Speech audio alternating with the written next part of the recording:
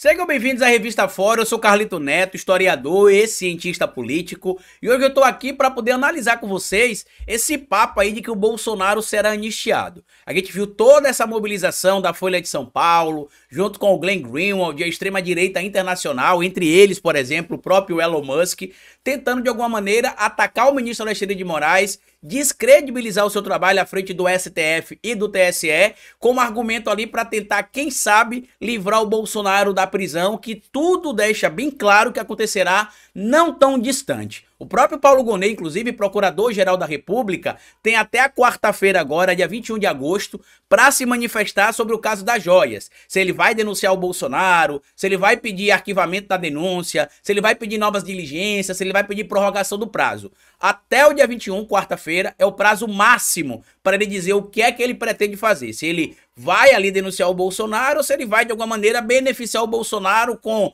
novas diligências, que isso vai dar mais tempo o Bolsonaro chegar inclusive perto da eleição com o discurso que a gente tem visto ele seguir aí, se ele vai pedir ali prorrogação do prazo ou se ele vai arquivar, que eu não acredito que ele vai arquivar. Eu acredito que ele deve apresentar a denúncia contra o Bolsonaro já agora no dia 21 de agosto por conta dos ataques que os bolsonaristas tem feito ali ao STF, ao ministro Alexandre de Moraes. E como eu já trouxe aqui, inclusive, em outras análises, aqui na revista Fórum, quem fez ali lobby junto ao presidente Lula para indicar o Paulo Gonet para a Procuradoria-Geral da República foram os ministros Gilmar Mendes e Alexandre de Moraes. Então, neste momento, eu acho que a resposta que todos nós estamos aí esperando há muito tempo por parte do Paulo Gonet acabará vindo. Ele vai basicamente fazer o trabalho dele, coisa que Augusto Aras não fazia.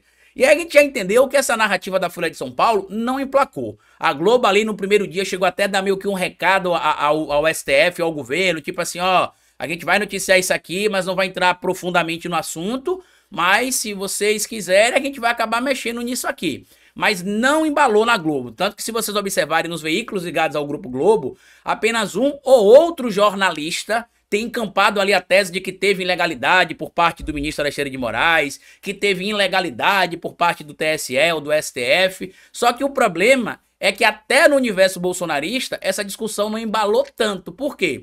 O Ives Gandra, que é o magistrado ali utilizado pela extrema-direita brasileira para fazer sempre interpretações torpes ou interpretações completamente desconectadas da realidade e da hermenêutica jurídica, ele utilizou ali, por exemplo, ele foi utilizado né, por bolsonaristas para poder fazer valer o pensamento de que o artigo 142 da Constituição Federal poderia ser utilizada supostamente ou utilizado pelo presidente da República para convocar as Forças Armadas para que ela tivesse ali uma atuação moderadora, ou seja, esquece a tripartição dos poderes, esquece a harmonia entre os poderes, ao contrário, você convoca as Forças Armadas para poder pedir para que as Forças Armadas moderem isso. Então nem o Ives Gandra conseguiu defender essa tese. Ele disse que não assinaria nenhum tipo de pedido de impeachment contra o ministro Alexandre de Moraes, porque não tem cabimento. Ele ainda chegou a dizer o seguinte: que ele é contra ideias e não contra professores. Então, como ele conhece a lei, pelo menos quando quer, né? Fica claro ali que não dá para enquadrar o ministro Alexandre de Moraes, porque por mais chucro que seja casualmente,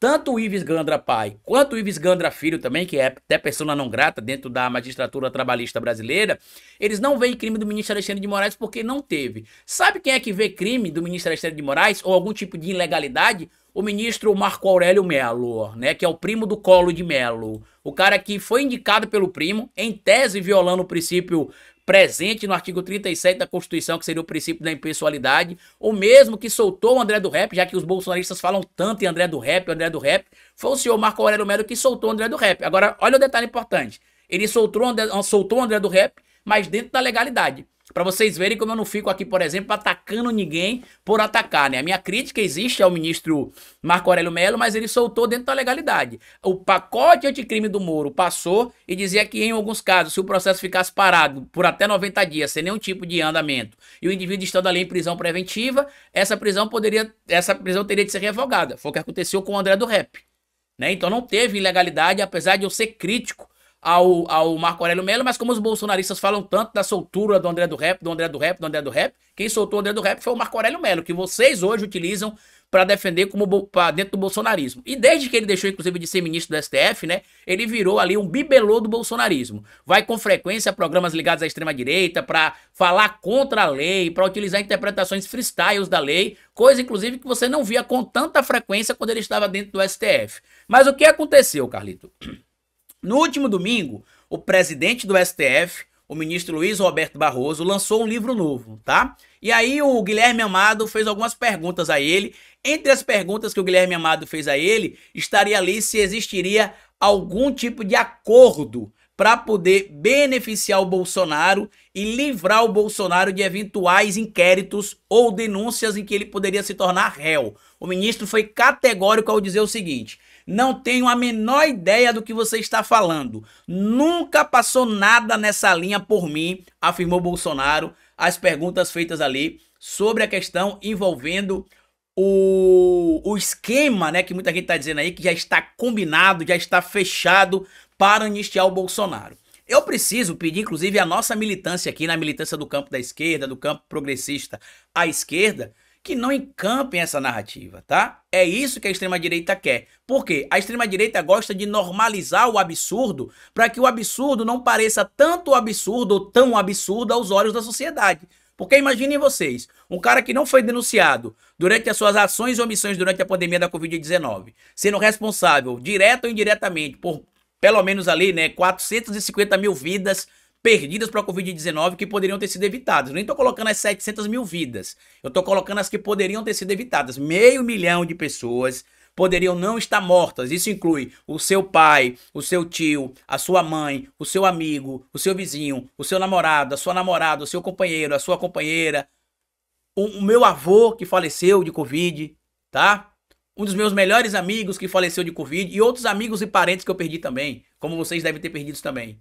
E aí, na época, a Araújo não deu seguimento a isso, disse que não tinha crime cometido pelo Bolsonaro. O próprio Paulo Gonet já deixou claro que ele pretende revisar essas decisões, porque na época o STF também não aceitou a justificativa dada ali pela Lindora Araújo, porque tinha materialidade sim para o agravamento da situação emergencial de saúde que a gente vivia no Brasil. Depois você tem um caso ali envolvendo também o cartão de vacinação falso, você tem um caso envolvendo os ataques nas urnas eletrônicas, você tem um caso envolvendo os ataques ali do 8 de janeiro e você tem um caso envolvendo agora também o roubo de joias. Então, eu acho que está passando da hora, inclusive, de o Bolsonaro ser denunciado pela Procuradoria-Geral da República. Por quê? Existe um prazo legal, e eu inclusive trago isso aqui com frequência, o Gonê não está fora do prazo, mas quanto mais tempo ele dá para o bolsonarismo, mais narrativas como essa do Fábio Serapião, do Glenn Greenwald, da Folha de São Paulo vão surgir. Eles não vão parar, eles vão continuar tentando dar golpe de Estado, eles vão continuar tentando roubar de alguma maneira o patrimônio do Estado brasileiro. Basta ver o que o Bolsonaro fez com o TCU. Ou vocês acham ali que o senhor, o senhor Nardes, né, o senhor, o senhor é, Jorge Oliveira, Augusto Nardes, Jorge Oliveira e o outro que eu não me recordo o nome agora, que foi indicado pelo, pelo a época ministro da Casa Civil, o senhor Ciro Nogueira, se eles estão apenas de brincadeira, tentando mudar a interpretação de como funciona a lei para poder tentar criar um problema, mais uma vez, em defesa do Bolsonaro. Tanto que vocês observam, em uma semana o TCU decide ali de forma freestyle que, são, que é eles que analisam o que é lei e o que não é lei, não é o STF. E detalhe, tá? O TCU é um órgão ligado ao Poder Legislativo, nem ao Poder Judiciário é. É ligado ao Poder Legislativo. E aí eles dizem lá, por exemplo, que não, porque se não tem lei que diz que isso aqui é crime, então não é crime. Na verdade, não é exatamente assim, né? Porque existe esse entendimento que se o presidente pegar patrimônios que ele recebeu por conta do cargo, ele viola alguns princípios, entre eles da impessoalidade e da moralidade. E se ele se apropria disso e vende, como ele fez, inclusive, viola também o que diz o artigo 312 do Código Penal, crime de peculato. E aí, na semana seguinte, tem esse material do Glenn Greenwald, que é, é, tão, é tão interessante como é que a extrema-direita atua, que eles combinam as coisas de forma tão descarada que não consegue nem disfarçar. Porque aí sai essa decisão do TCU, Aí na semana seguinte, o Glenn Greenwald divulga esse material sem conexão com nada, sem pé nem cabeça, sem nenhum tipo de ilegalidade. Aí publica no Twitter, Elon Musk compartilha, o, o, o, tem uma entrevista com Donald Trump. Eles estão desesperados. Essa é a grande realidade. O plano deles, por exemplo, era que o Donald Trump vencesse a eleição e continuasse fortalecendo a extrema-direita global. Com a saída do Biden e a entrada da Kamala Harris, a possibilidade do Trump ganhar caiu drasticamente como eu já tinha inclusive feito algumas análises aqui na revista Fora e lá no meu canal também no Historiador, o ataque contra o Trump não teria impacto massivo na eleição. O impacto seria mínimo por vários motivos. O primeiro, porque né, a pessoa que teria cometido o ataque não teria ligação nenhuma com a oposição. O segundo, o discurso odioso do Trump levou a isso. E o terceiro, as eleições eram só em novembro. Passariam pelo menos ali uns quatro meses até a eleição.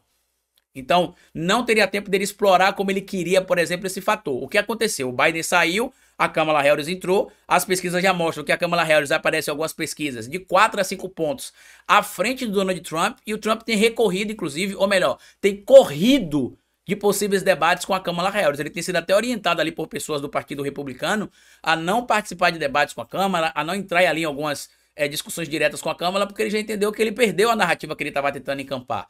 Então imagina aí, Bolsonaro fora do poder no Brasil, a esquerda no poder na Inglaterra e o Trump perdendo a eleição para Kamala Harris. Não imagine que ela é de esquerda, tá? Mas ela está à esquerda do Trump. Os dois são de direitas, mas o Trump é da extrema direita e a Kamala Harris seria de uma centro-direita americana, né? Não compare como é a centro-direita no Brasil, tá? Ela seria de uma centro-direita americana ou estadunidense, né? Como vai vir gente que corrigir também. Então tá dando tudo errado para eles. E este recado do ministro Barroso é extremamente importante, porque essa cambada de bandido precisa lembrar que a lei funciona para todo. O artigo 5 da Constituição lembra disso, né?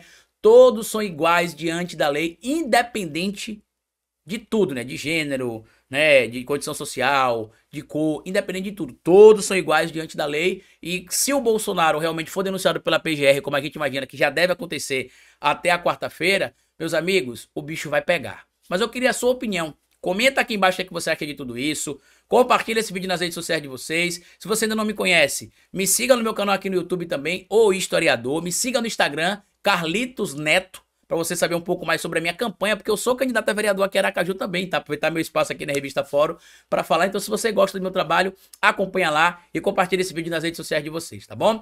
Grande abraço e até o nosso próximo encontro aqui na revista Fórum. Tchau, meus amigos!